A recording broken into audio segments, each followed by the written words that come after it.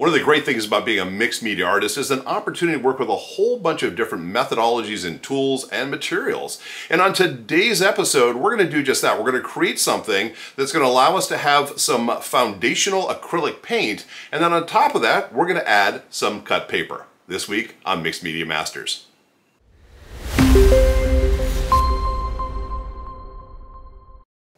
Hello makers and welcome to the studio. If this is your first time here, then so happy to have you along. We're going to be doing some fun stuff today as we do every single week. So if this is the kind of thing you find interesting, please subscribe. We'd love to be able to talk to you on a regular basis. Now this week we're going to be working on a truly mixed media type of uh, material. And I'm going to start with a, a, good piece of heavy duty watercolor paper here. And what I want to do first of all is lay down a foundation of paint as my background in essence, background colors. And so I have a, a number of uh, different series of uh, acrylic paints that I'm going to be working with here. And the objective here is really to create something that is going to give us a look and feel that's going to really work with what we want to do. Let me give you an example of some things we've done in the past. So this what I want to work on today is going to be part of an, uh, an, extended series I call Out and About. And it really is just these different places that you may go as you go out into the world, but kind of thematically. So for example, if you were down by the beach, what are the colors and what is the sensation of that compared to being in a forest, compared to being in a garden, compared to being in the desert? You get my point. And so we want to be able to create some sort of backgrounds or some just effects that we can work with, and then we'll come back and we'll dress it up a little bit further. So let me show you how I end up doing this. And I'm going to start uh, basically by grabbing a couple of uh, colors here. I have a magenta that I'm going to work with here. And uh, what do we have here? This is a more of a turquoise or teal color that I want to work with. And these guys, these guys work well together. And I'm thinking within the context of what I want to do on my piece of paper is I want to have kind of some different stripes of, of color that we can work with in the background. So I'm going to start by laying down a, a bit of a foundation. The way I'm going to do this is I'm going to just over my paper, I'm going to add a couple drops of paint. I'm going to just kind of go down here a little bit. Okay, just don't want it to be too uniform, but an opportunity to say, okay, there's some paint, right like that. I'm going to do the same thing with my magenta. By the way, if your paints have been sitting around for a while, it's always a good idea to give them just a quick shake before you use them. So you get all the pigment that you want in here. All right, so there we go. And there we are. So this is a good starting point. Now what I'm going to do is I'm going to take my platen roller, and this is one you've probably seen me use a number of times if you're a regular at the channel. And this is generally used for removing, uh, taking ink and putting it onto a printed surface, something that you would use for block prints or something like that. I love using this as a way to just move paint around, uh, as well as it's a fantastic tool for adhering things. If you want to glue pieces of paper to a paper, this, this uh, ends up pressing it down nicely. But in this context, what we're going to do is we're going to use it to smear some paint. So I'm going to come down here and I'm just going to roll along like this. Okay, you get a sense of how that's going to work. And I've got some things going. I'm going to come over here. Let's get some, uh, some more. Pick up some paint. And again, we might have to repeat this a few times to get the full coverage that we want, but let's, uh, let's drop a little bit more blue in here. There we go, there's some blue. I'm to do the same thing over here, since we're going to want to fill this whole area up. Okay. And let's do the same thing with the magenta. Let's get some more in here. And this is going to look pretty cool by the time we're done. And we're able to control the direction of the paint as much as we can because we are rolling it in specific directions. So again, do this, and again, do this. And one of the things you can also control here is uh, how much border you have. So for example, if I want to pick up a little bit of paint here, I can create in essence a border. So I have a white frame. So I can say, okay, I want the color to stop this far from the top or the bottom or the left or the right. And it's just an opportunity for us to have a little bit of control. And we don't want to overdo it here. We don't want to make it all muddy by over over rolling it, I just want to make sure I get some of these areas. But we're going to get a good combination, kind of a mottled effect of our areas where we have a little bit of white showing through and we have our combinations of magenta and teal working together. Um, it's a little heavy on the magenta to be honest. I'm going to add a little bit more teal just to balance it out here as well. Magenta is just a more dominant color in this context so let's just get that up there. There we go. That, that changes the dynamic pretty nicely and we get a little bit more blue. All right. Now, as you can see, that is not hard to do at all. But the cool thing about this is this is going to be a great foundation for what we need to do next, which is we're going to take some colored paper pieces, and once this dries, we have something we can adhere to, glue onto, we're going to come back in here and we're going to dress this up, and we're going to make it into something. I, I don't know what it's going to be yet. It's going to be awesome, though we'll find some colors that can work on top of our paint. So let's let this dry, and uh, once that happens, we'll come back in and let's get some colored paper on this. Three days later. Welcome back.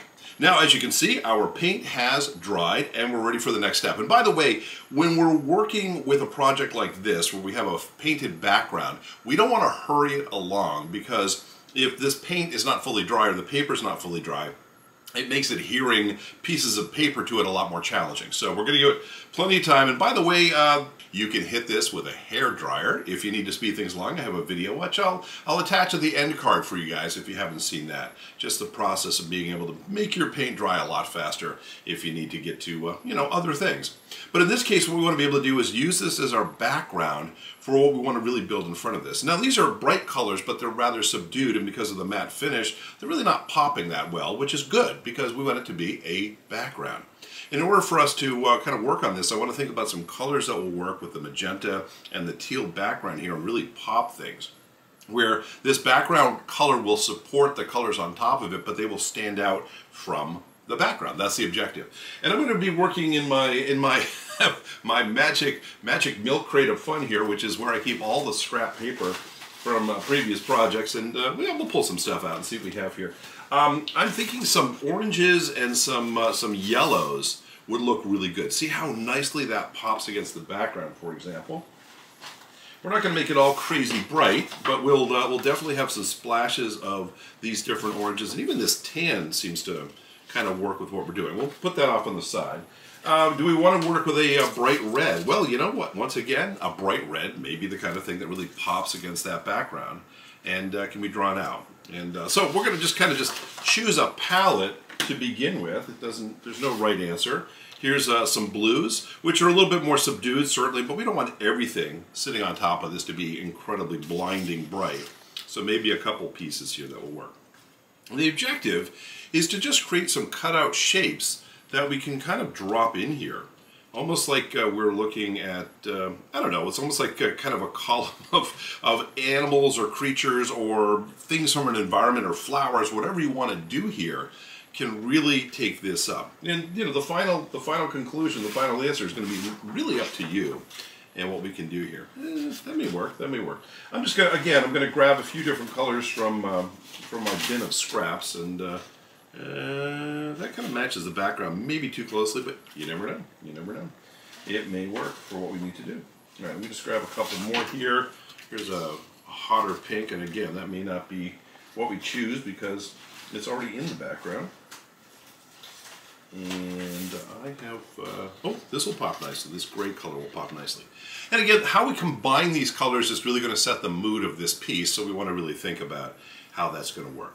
Let's, uh, let's start off with something relatively simple. I'm going to use this gray that I just pulled out of the bin, and I'm thinking what I want to do is create kind of a blobby shape of some sort that I'm going to be able to drop in here. It doesn't need to be too large, but let me just come in here and create a, a gray potato, so to speak. There we go, something that will allow us to have uh, an irregular shaped piece. And again, if we start taking and dropping these pieces into place, and we can dry fit everything, of course, and just get a sense of, hey, but I like the way that this color pops against the background. I like that a lot. It's really a good, clean color.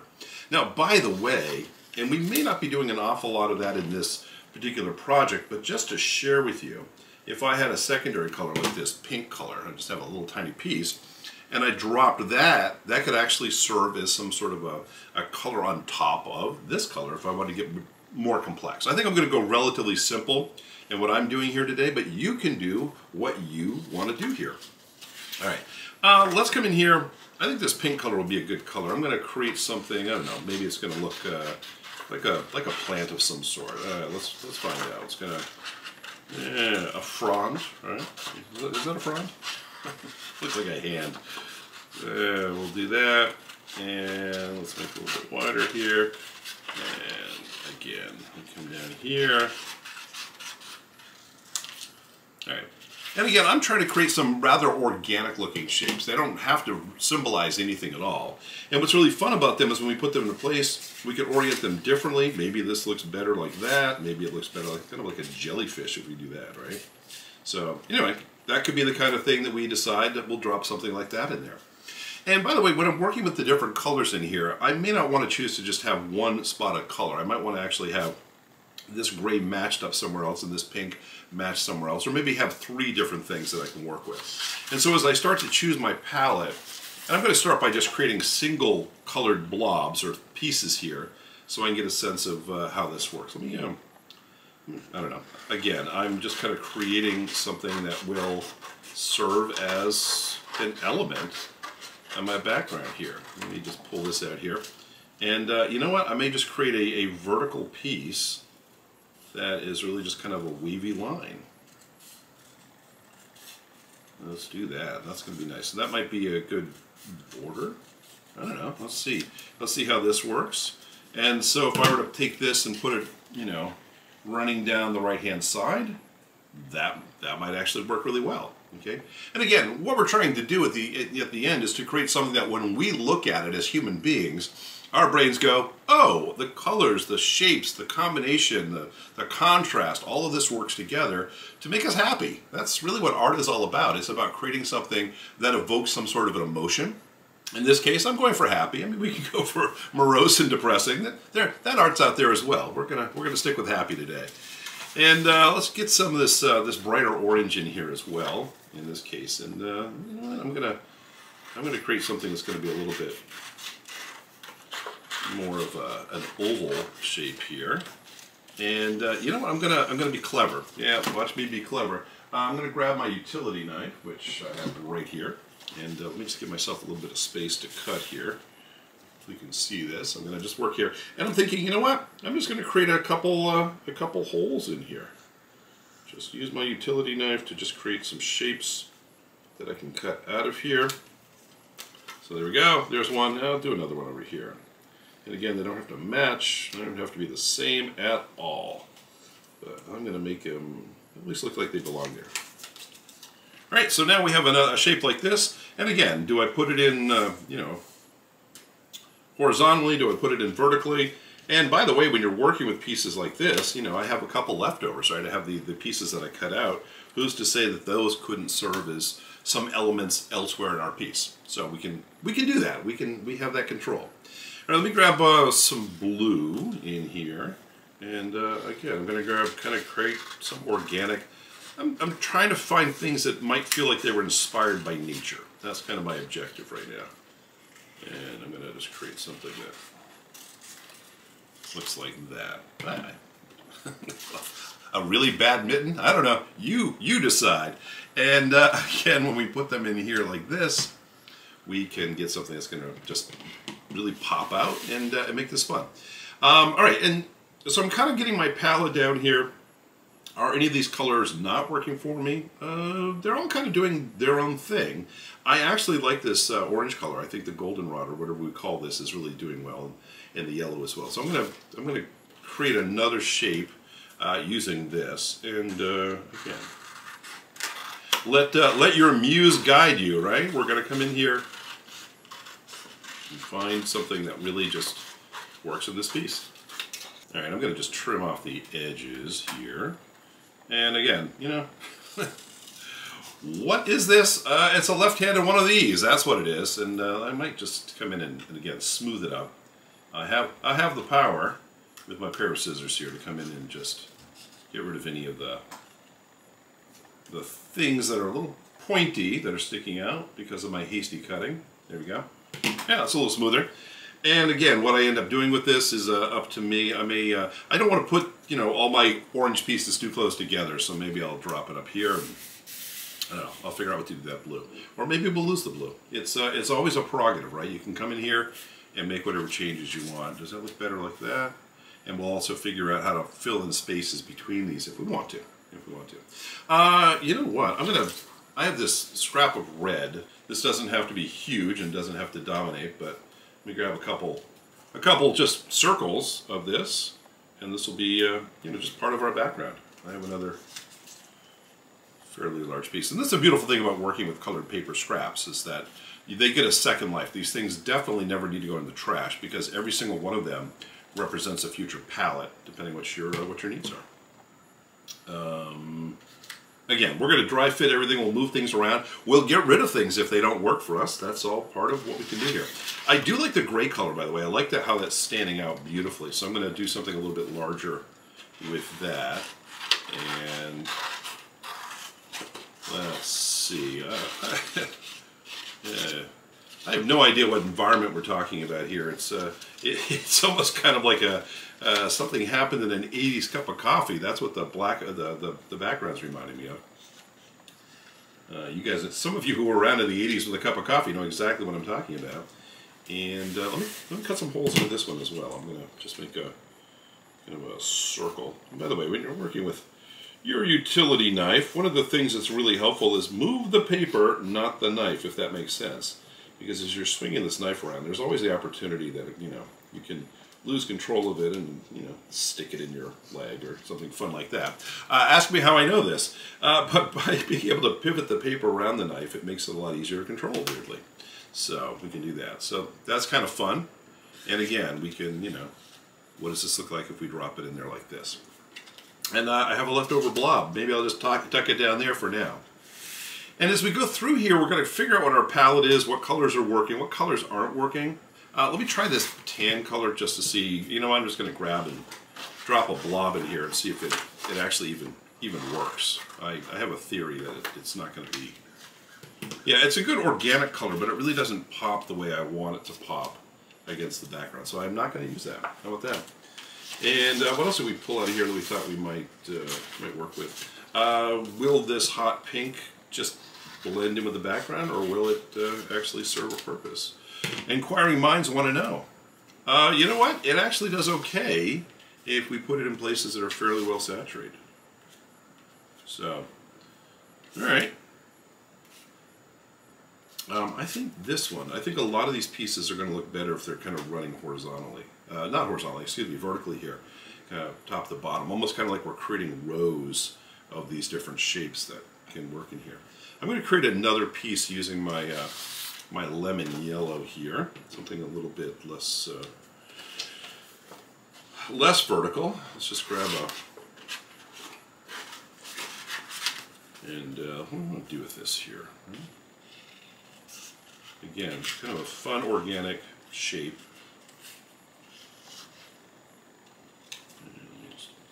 Get rid of that. And uh, yeah, it's not very interesting. Let me let me put something like this. We'll get a divot into it. That'll make it more interesting. There we go. Yeah, see? That sometimes that's all it takes is just to add a little bit more dimensionality to it. And we can drop this in here like this. Uh, and I'm starting to see kind of the pieces aligning the way I want them to. Uh, you know what? I'm going to put some uh, of this pink color. I'm going to match it up here, like I said. Or I could do hot pink, too. I, I have... Well, let's see what happens here. I'm going to come in here. I'm going to do something a little bit more... Well, again, sometimes I let the paper talk to me. I say, all right, well, I've got this scrap of paper that I'm working with here. Uh, and if I were to just take a section of this and just say, let's, let's just get rid of all the, the sharp edges. Let's just make everything that we're doing in here kind of rounded then uh, what does that look like? And that's kind of cool. That's kind of cool. So I'm going to put a, a just a, a, piece of pink right up here in this area. And I'm still, the, the, the jury's still kind of out on this blue color. I mean, it's not a bad color. I'm not sure if it's fitting in with the motif here, but uh, let's find out. Right, I'm going to grab this, uh, this bubblegum pink. And again, let me just pull a chunk out of here and uh, let's make it fit into the space that we have up there.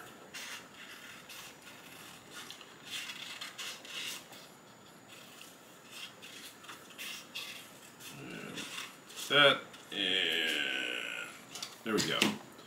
There we go, and let's put that right in there. And again, I might, you know, I might not want to have everything totally in line here. I might want to kind of shift them over so they're kind of crossing each other a little bit. That might be a lot, lot more interesting visually than just perfectly straight lines. Uh, red over a little bit more. And again, sometimes one of the things to think about when you're working on anything is, you know, kind of the center of the piece may often be where the human eye goes to uh, first of all. You might kind of look in the middle and spread out from there. So if you want to put the more interesting objects in the in the center, what does that look like? How does that change things around?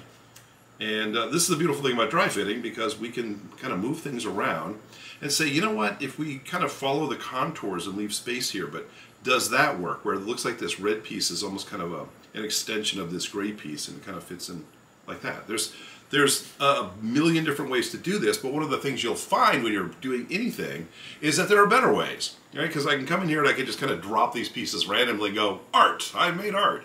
But there's a certain craft, uh, hopefully, when we come in here that allows us to be able to say instead, hey, I'm doing this for a particular reason because aesthetically this these contours work together and that may help really grab people's attention like these pieces actually belong together.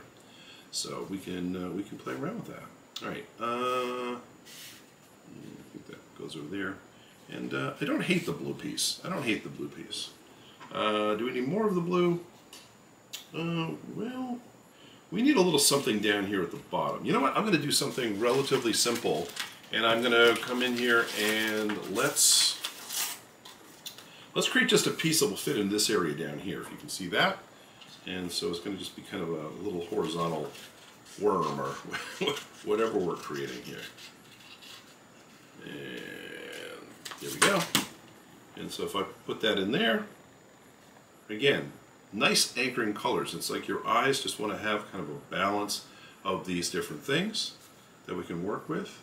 Um, do I want this red in here? If I put this red up here and put something else here, what would that something else be?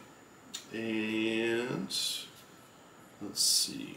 Um, mm, mm, mm, we've matched most of our colors up.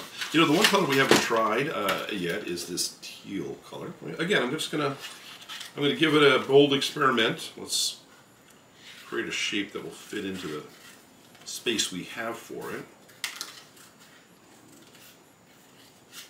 And uh, let's just do a quick analysis. No, no, uh, again, you know, it's not a bad color at all, uh, but you see it just really gets lost in what's what's in the background. So that's not going to serve our purposes uh, very well at all. All right, so let me move this over here a little bit. Let's move this. You know, and again, you can. One of the things that I have learned, sometimes the hard way in art creation, is that there are times when you just have to stop. you know, when do I when do I find the time to, to, to stop doing what I'm doing here? And, uh, you know, part of me is thinking, well, we could fit something else in this space here, and there's also a space here. And maybe we'll do that. Let me see if there's anything else in my, in my bucket of goodies here that will... Oh, you know what? I've got a, a, light purple here that will actually, because of just the tint, it's got a lot more white in it, will really pop well. You know what? Let's let's give it a try. So, cut a chunk out of here. All right, and let's, uh, what do we want to do with this? Again, some sort of uh, organic, mostly rounded shape. And just let the scissors and let your imagination guide you. Okay, so there's that.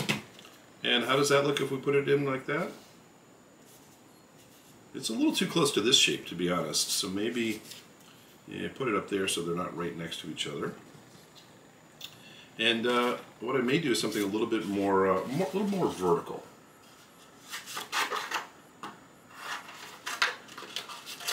Okay, so this will fit kind of in this space here. And again, maybe I'll do kind of a, a weavy line blobby thing. And I'll weavy line it on the other side as well.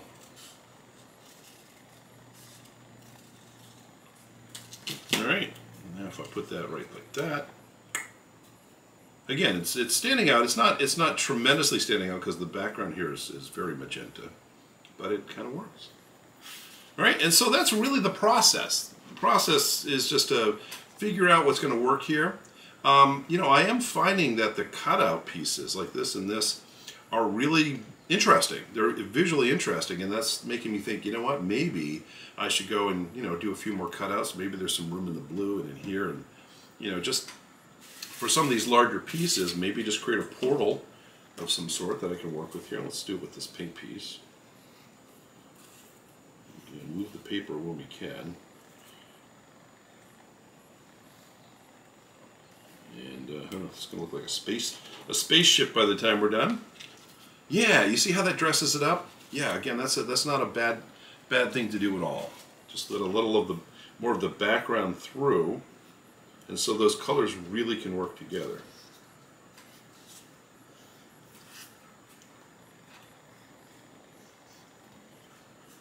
All right. And uh, do I want to do the same thing? You know what? This other side give us a, an opportunity again to kind of cut something out. Let the background through. Alright. Oops, let's get that out of there. Yeah, yeah, I think that works really well. Um, I'm going to do the same thing with the blue. Again, not the whole thing. We'll just we'll create something that makes it easy for us to have the background shine through.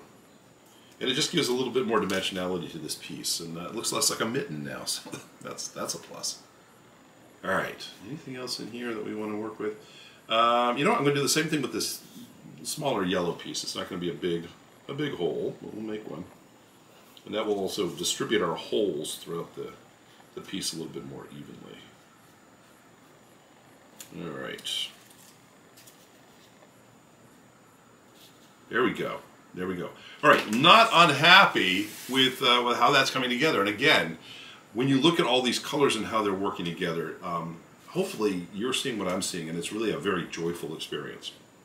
Okay, so now that we have everything where we kind of want it to be, we can make these decisions on the way. We're going to grab our trusty glue stick, uh, and I'm also going to grab a, um, a gluing sheet. Now I can use just a standard piece of copier or printer paper, and I just like to use this as a way for me to be able to glue the pieces down and, and get less glue on my actual artwork. It just makes it a lot cleaner.